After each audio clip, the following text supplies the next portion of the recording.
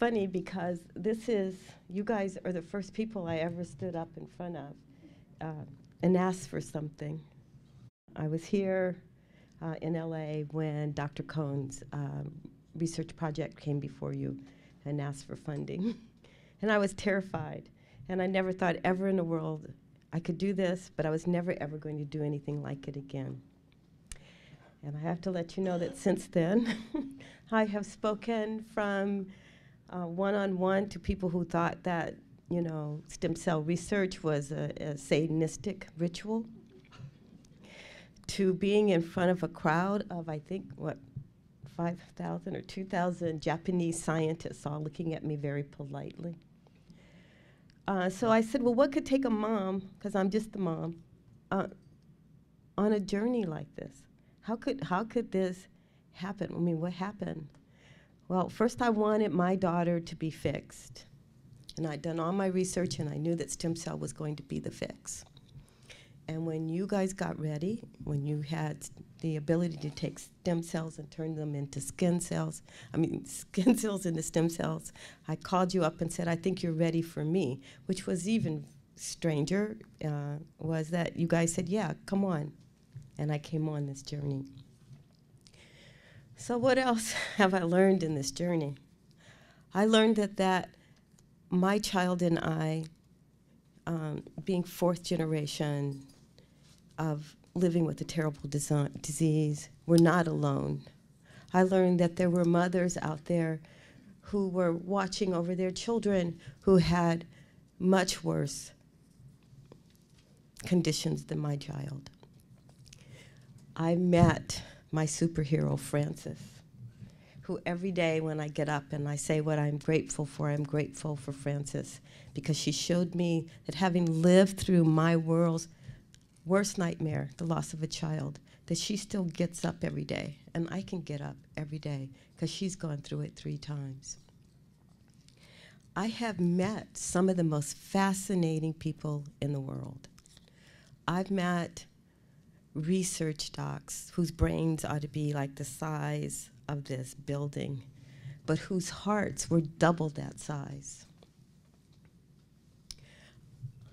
I've met people who would sit and sometimes they make jokes about you people, sorry, scientists, about how you, you can't speak, you can't talk, but who sat with me and broke their science down to the point where I could go in and explain it to five year olds.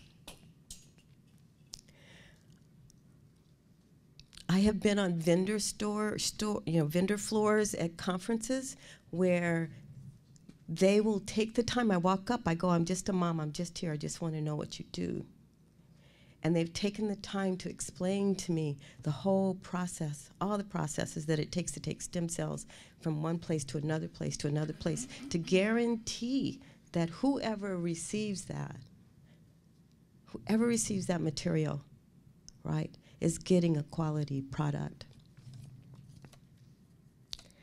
I have gone from being a selfish mommy and I'm telling you selfish, as in my kid, us, me, my family, to being a mother, a mother who sees a new world not just for her children, but for so many other children, millions, thousands, in ways that you cannot comprehend because unless you've lived with the idea that every day you, stare, you share with your child could be the last. There were many, many mothers like me. And it's an interesting thing what hope does. I'll just give you one example of hope.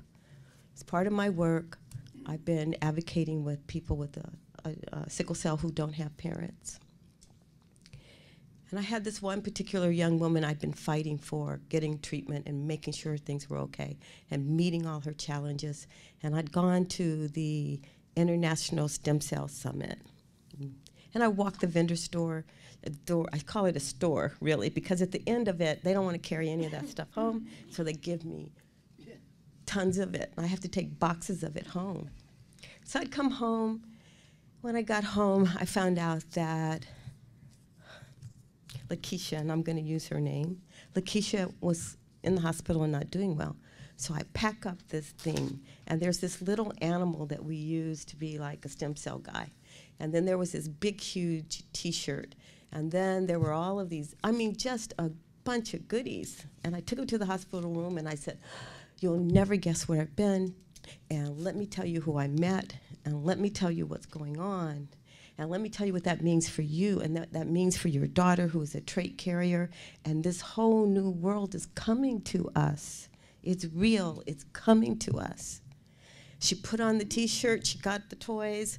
She was so happy. She saved part of the stuff for her kid who was going to come and visit. We had a wonderful, wonderful chat. But her eyes were gleaming, and I was crying because we were sharing the fact that there was really, really hope where we knew, and hope for her and hope for her daughter who wasn't going to carry on. So two days later, Lakeisha got herself uh, dismissed from the hospital, packed up all her goodies, went home. I went over to visit, um, and her child was playing with the toys and was and the little puzzle things. Was really happy. Um, and Lakeisha was really unwell. And we talked about what stem cells meant, not just to sickle cell, but to everyone. For and when she got the cure, she could fix her knee. When she got the cure, there were all these other things that had gone wrong with her kidneys and this, that, and the other, and all that ultimately be fixed. But the best part of all was that her daughter would not have to suffer through this. So four and a half hours after I had this discussion with Lakeisha, she died. And um, she died. And the thing about that death was, on one hand, I thought, oh my God, it, this is horrific, this is horrible, I'm not cut out for this work. I was so crushed. But then I thought, a death with hope versus a death that was just something that says, okay, I'm going and there's going to be nothing to follow me. A death with real hope. And I, I, I need you to understand what that means to those of us who've had no hope. Is that the work you do, what you, what you support? Um, I know it's not measurable on a spreadsheet, but it is real and it is tangible and um, it's like a, it's it's unbelievable. So thank you, thank you so very much.